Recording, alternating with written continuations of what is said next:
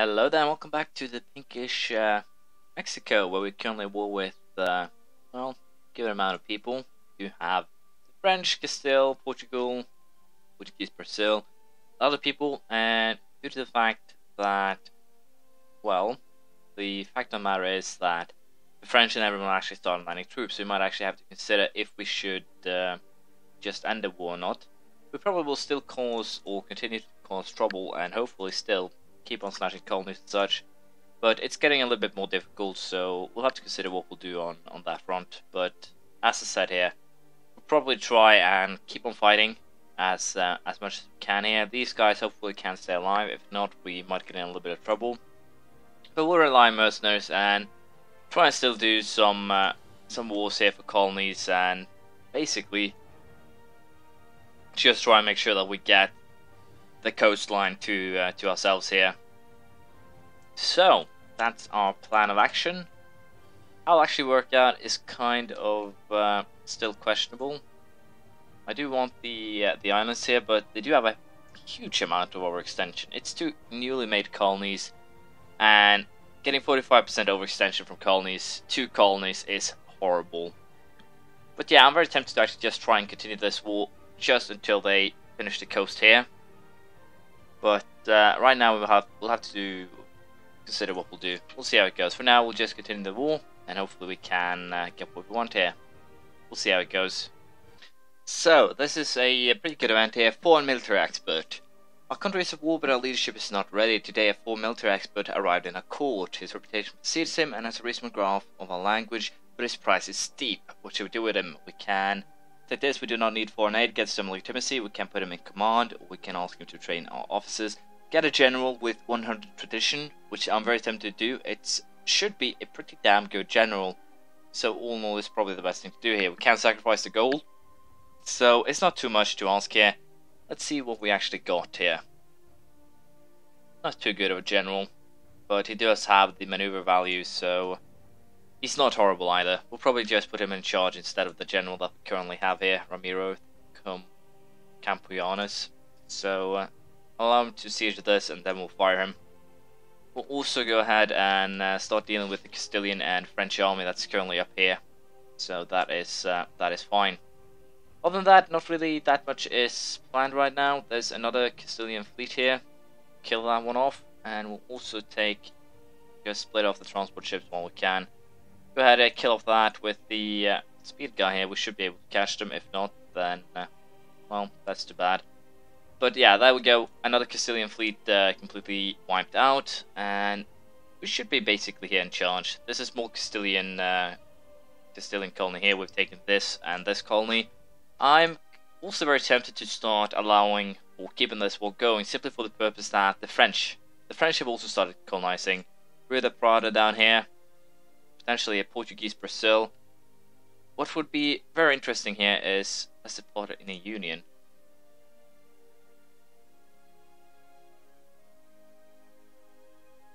Wait a second here. So I can't actually negotiate. There we go. Yeah, so I was trying to apparently negotiate people with Portuguese Brazil, which is kind of bad. But apparently, as you can see, I can't actually force release their, uh, their colonial holdings. But I'm pretty sure that if I just kick Portugal into, uh, well, hurt them, then I might actually be able to get something out of this. But yeah, I'm also very tempted to just try and see if I can get Portugal out of this. And the simple reason is, of course, that the Portuguese will probably keep on colonizing in South but I'm very tempted to just keep the French in it for the fact that they are colonizing it. I'll just send a colonist, flip it, and then we'll get most of uh, South America as well. Castile won't be doing too much, I think. The Portuguese will take most of the colonization of Africa, I'm pretty sure. So we have nothing to worry about there. The Ottomans have apparently gone eastward, killed off the Mam will be killing off the Mamluks it seems, which is kind of interesting as well. But not really that fun. Russians, it seems like no guy has actually been able to cut them off here, so might not be a snake like Russia. No, probably a snake like Russia. So we'll see how that turns out. Lithuania, still alive. The map itself is kind of interesting here. But yeah, I think what we'll do here is just keep on focusing for now, getting the colonists, taking as much of the coastline as possible, and colonize inland as we see fit ourselves. I'm a little bit unsure what I actually want to do with Incas, if I want to uh, colonial conquest them or whatever. I can annex them, but it will be a horrible price to pay. So for now, I'll just keep on fighting these, uh, well, I don't know what to call them. Skirmishes, we'll deal with uh, whatever fleets they send towards us, and all in all, we'll just try and keep, to some extent, control over every single uh, colony and take them as they grow.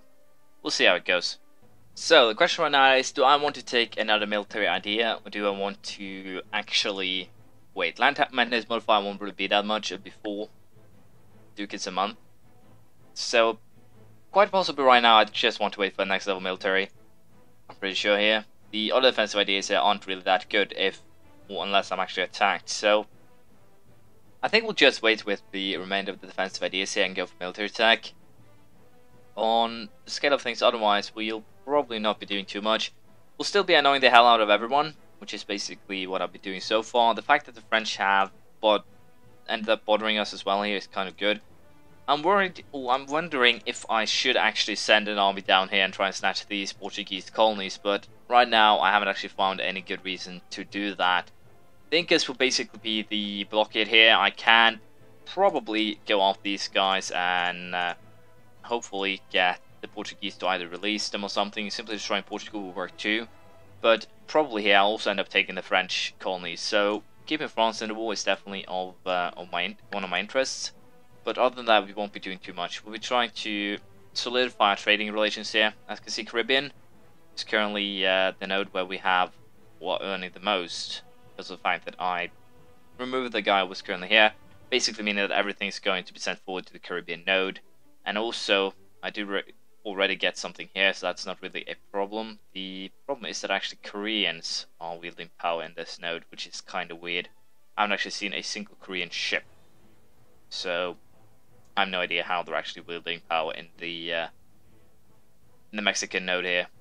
But other than that, as you can see, they are sending forward up here. So I've placed another merchant here to try and take some of the income. Well, I have no idea if it's actually gone there yet.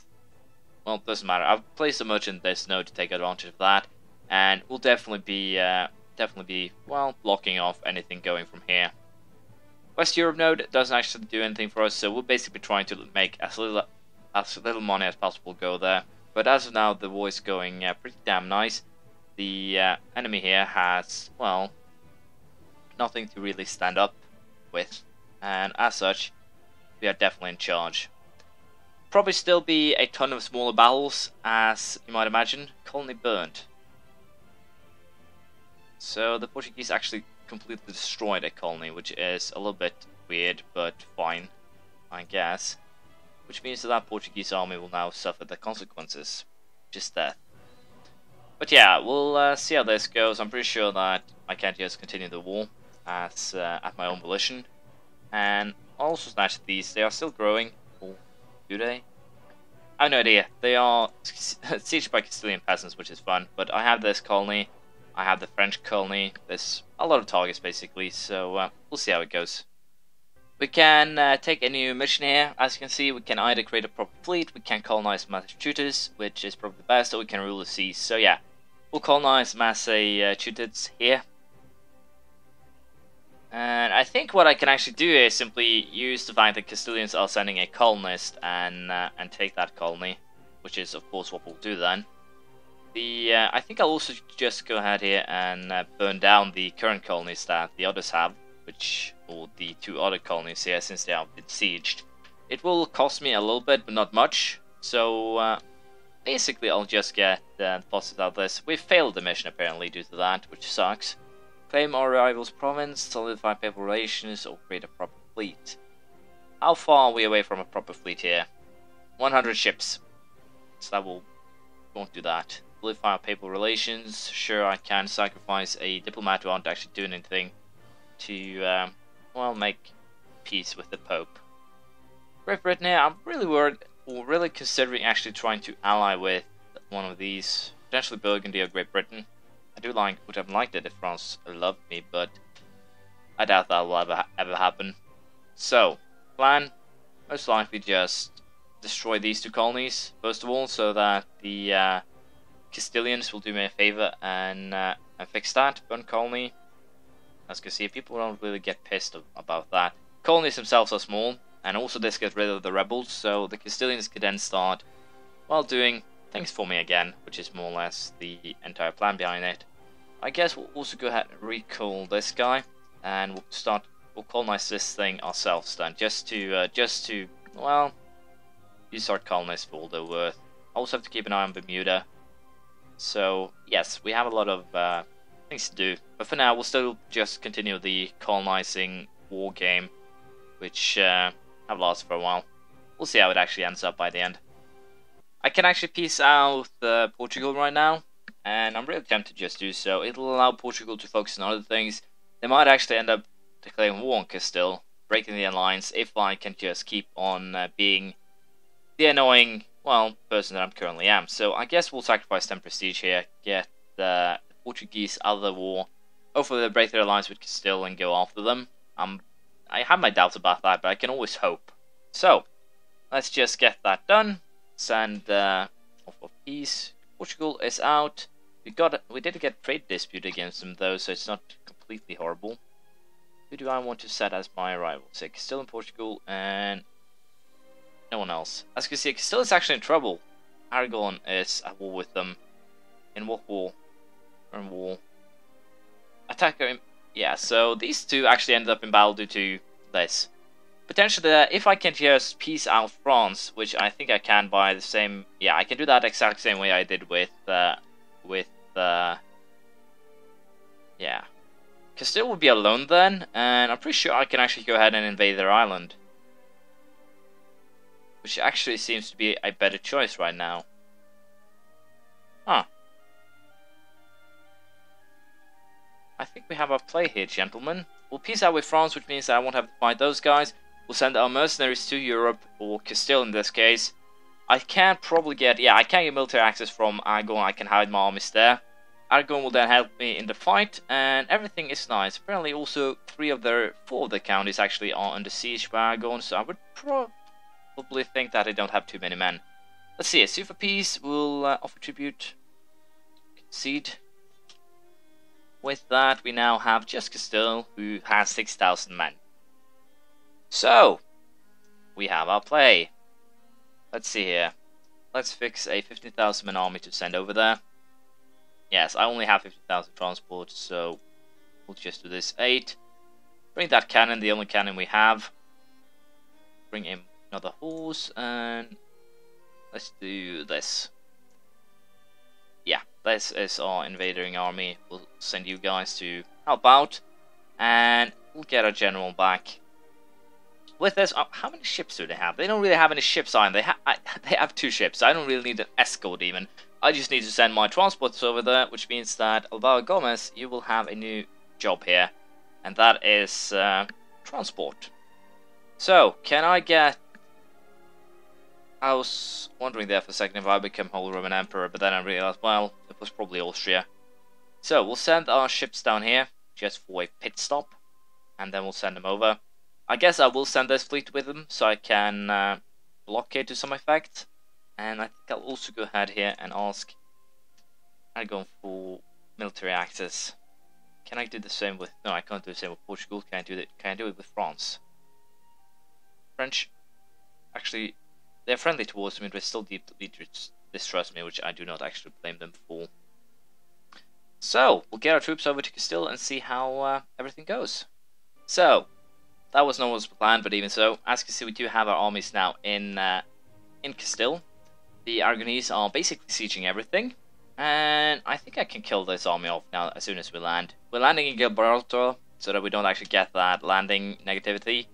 And we'll send this army back home, have it fix its ships, and then we'll actually send another 15,000 men mercenary army down there. We can most likely afford it, or we should be able to afford it. Worst case scenario, just take the regimental system. The big question right now is do I want to actually complete this uh, line here, and I don't really think I do. What we'll save for here is probably more admin tech. Great Britain has uh, plumped down a colony here, which is, of course, hilariously annoying. I think I can declare warn them, but Burgundy, Portugal, Brittany Burgundy, not really that scary. The fact of the matter is, it's actually more scary that they do have uh, more ships themselves. So what we will do is, of course, just fabricate a claim, and if we feel the need or if they colonize a lot, we'll just go ahead and kill them off.